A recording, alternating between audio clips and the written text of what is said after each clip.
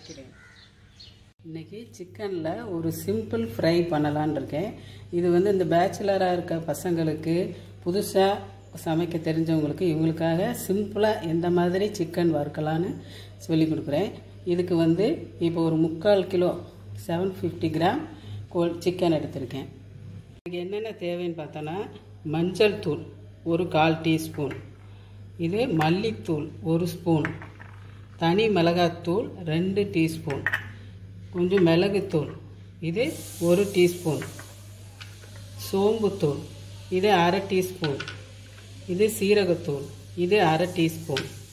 ஒரு ஸ்பூன் இஞ்சி பூண்டு பேஸ்ட்டு. ஒரு டேபிள் ஸ்பூன் அளவு தயிர்.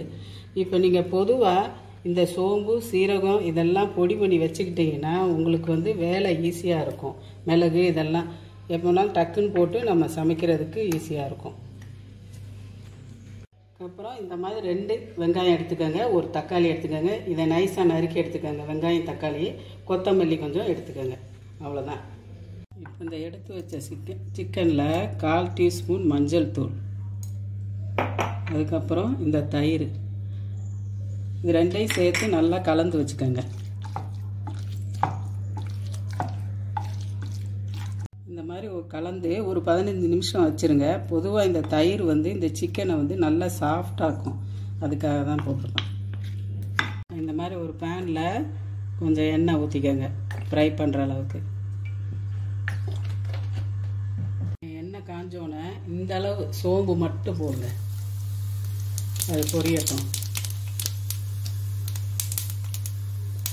அதுக்கு அடுத்து இந்த வெங்காயம்.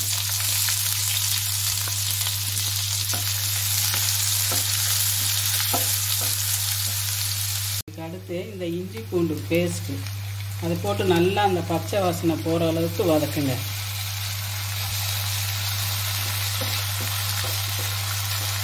இஞ்சி பூண்டு பேஸ்ட்டு நம்ம வீட்டிலேயே அரைச்சிக்கலாம். அது எப்படின்னு ஒரு வீடியோ போட்டிருக்கேன். அதையும் பார்த்துக்கங்க. அதே மாதிரி இந்த சோம்பு சீரக பொடிகளையும் கடையில் வாங்கிக்கிறவங்க வாங்கிக்கலாம். இல்லை வீட்டிலேயே அரைச்சி எடுத்துக்கோங்க. அடுத்து இந்த தக்காளி. இதை போட்டு நல்லா வதக்குங்க.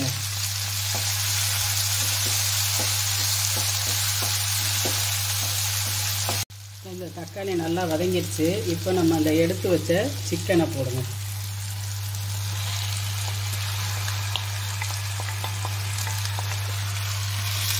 போட்டு இதை வதக்குங்க நல்லா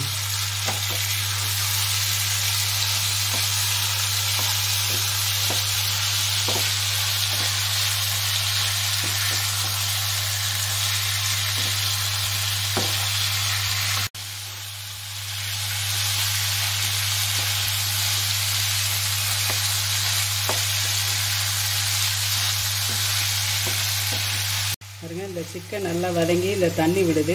இப்போ நம்ம இதுக்கு தேவையான மசாலாவெல்லாம் போடுவோம். ரெண்டு ஸ்பூன் தனி மிளகாய்த்தூள்.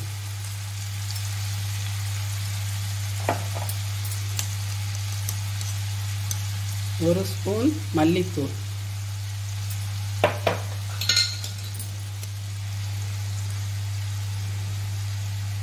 ஒரு ஸ்பூன் மிளகுத்தூள். பாருங்க அரை ஸ்பூன் சோம்புத்தூள் அரை ஸ்பூன் சீரகத்தூள் இதுக்கு தேவையான உப்பு. போட்டு இதை நல்லா வதக்குங்க.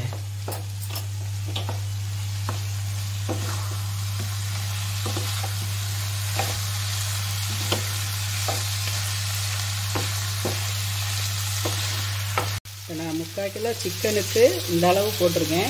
உங்களுக்கு சிக்கன் கூடுதலாக இருந்துச்சுன்னா மிளகா பொடி எல்லாம் கொஞ்சம் கூட சேர்த்துக்கோங்க. இப்போ இதை நல்லா இப்போ வதக்கியாச்சு. இப்போ இதுக்கு வந்து ஒரு கால் கப்பு அளவு தண்ணி ஊற்றணும்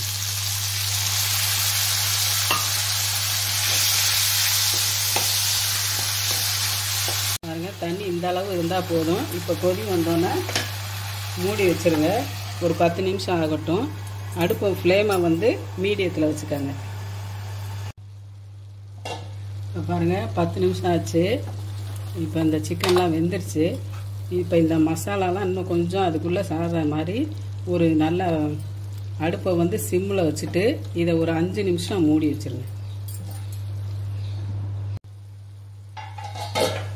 பாருங்க அஞ்சு நிமிஷம் ஆச்சு.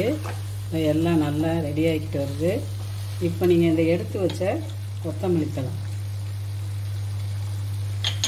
அது போட்டு கிளறுங்க.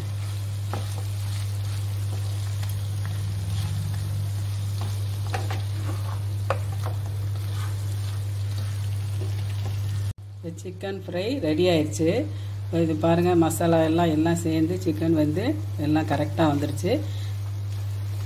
இது ஈஸியான ரெசிபி தான். இதை நீங்கள் செஞ்சு பாருங்கள்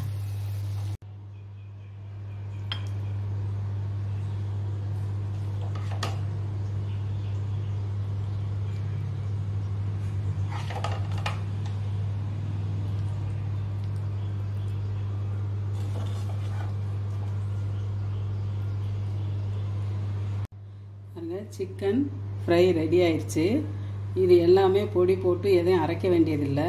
கூழ் தான் ஈஸியான ரெசிபி தான். நீங்கள் செஞ்சு பாருங்கள்